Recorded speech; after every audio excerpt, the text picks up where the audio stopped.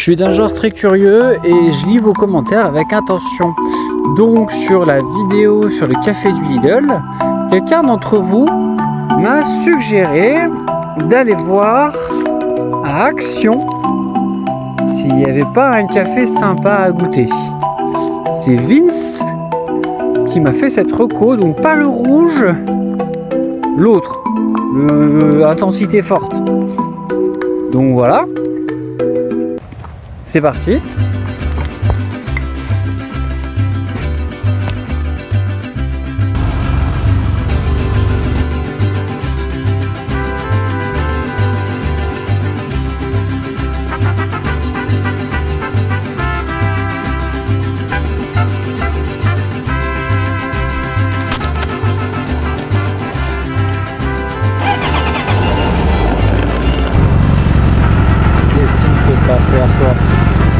Ok, on a récupéré le café d'action. Déjà encore du café du Lidl là-dedans.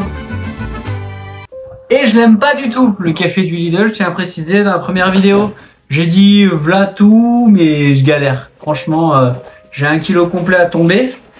Ce qui est bien avec le café Action, c'est que j'ai pu l'acheter à hauteur de 500 grammes. Alors forcément, le ratio au kilo est un peu moins intéressant. Mais au moins, ça m'évite d'avoir du stock je te dirai pas c'est quoi ça. Ça m'évite d'avoir du stock de café en trop s'il devait vraiment pas être bon.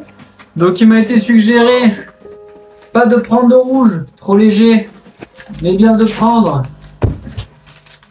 le Dark Roast Strength.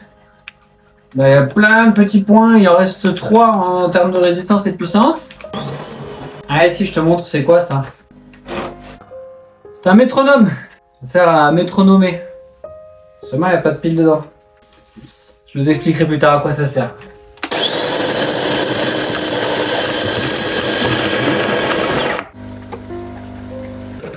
On donc toujours sur le café du Lidl. Mais vu le prix et le goût, on va gaspiller quelques cafés, comme ça on va pouvoir goûter celui d'Action. Et donc je vais pouvoir me rappeler du goût du Lidl avant de taper celui d'Action. Ce qui est pas plus mal aussi.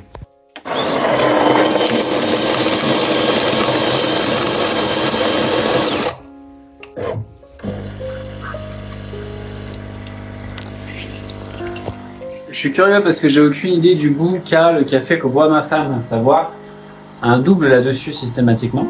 Donc c'est l'occasion aussi de goûter ça pour boire.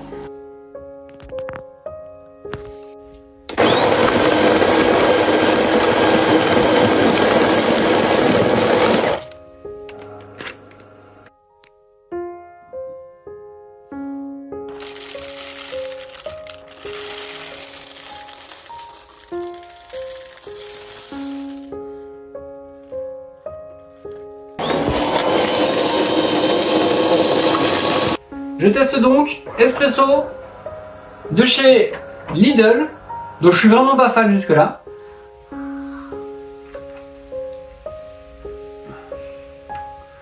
Ça a un goût de café, c'est inintéressant au possible. Ça peut suffire pour certains, mais ah, il y a un petit goût amer, il n'est pas transcendant. Je tiens quand même à préciser que l'eau, je la fais systématiquement passer dans la Brita en adoucisseur. J'ai pas d'adoucisseur dans la machine. voilà.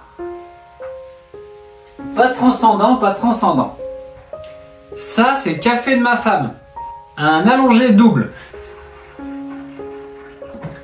Après, comme on dit, les plaisirs de chacun. Euh, je vais juste le goûter.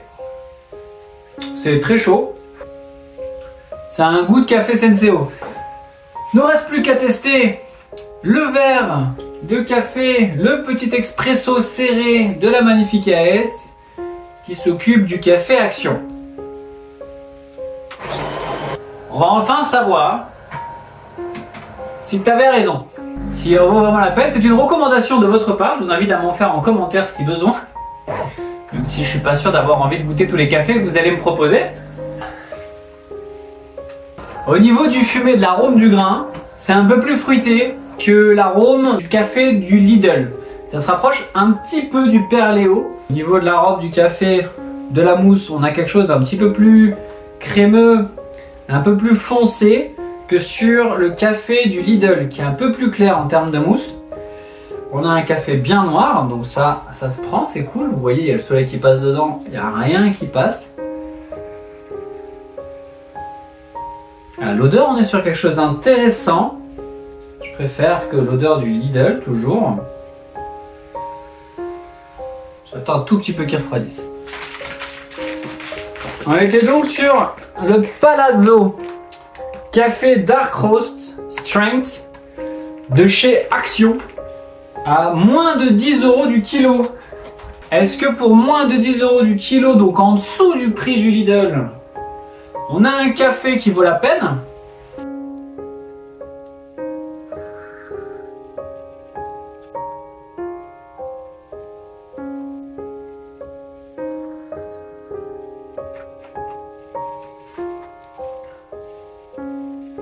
Ouais.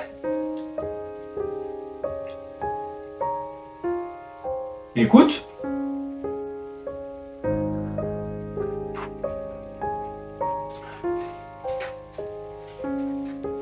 C'est très intéressant. Il y a une toute petite amertume complémentaire par rapport aux autres, aux trois autres que je connais. Donc c'est le troisième que je connais maintenant à la sortie de la Magnifique S. Le Perleo Forte, qui est très bon.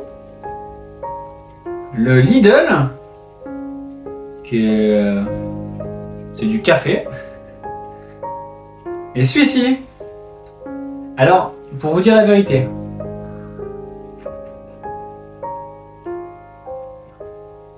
Il est très bon en première bouche, mais il y a une amertume résiduelle en arrière-bouche.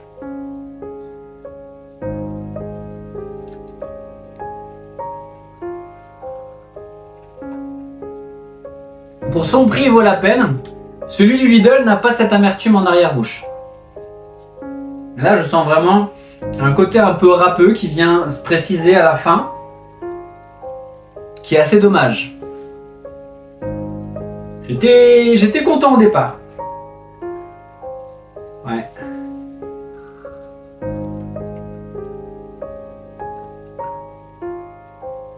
Je resterai pas sur celui-là non plus. Pour le moment, je crois qu'il arrive, je vais revenir sur le Perléo euh, Forte que j'achète chez Maxi Coffee. Je vous ai mis un lien en description. C'est un lien qui part euh, en parrainage. Donc ça veut dire que moi, je reçois des bons d'achat chez eux. Et mon objectif par rapport à ces vidéos, éventuellement, euh, c'est que si vous faites claquer le compteur, ben moi après, je fais des giveaways avec ce que j'ai en trop comme euh, voucher sur le site.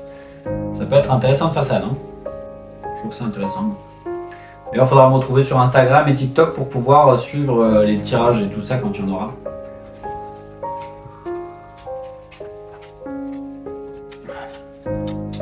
Voilà, je dis pas que je vais vous recommander celui d'Action, il est pas mauvais par contre.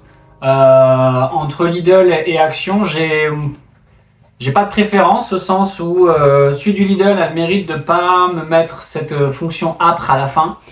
Et celui d'Action a une, une touche sympa au départ. Mais c'est l'arrière-bouche qui est plus important parce que l'arrière-bouche c'est ce qui reste le plus longtemps.